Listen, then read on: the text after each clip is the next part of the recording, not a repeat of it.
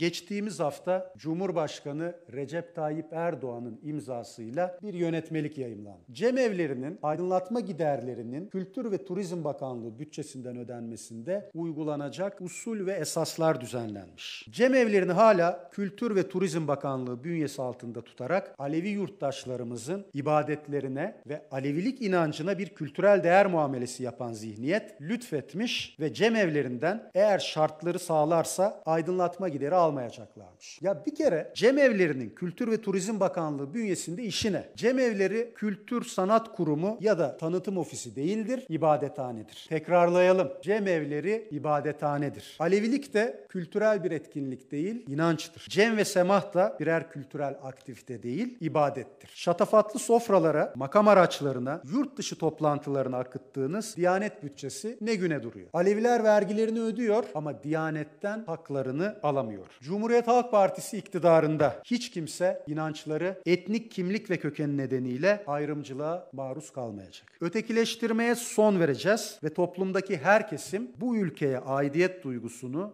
sonuna kadar hissedecek.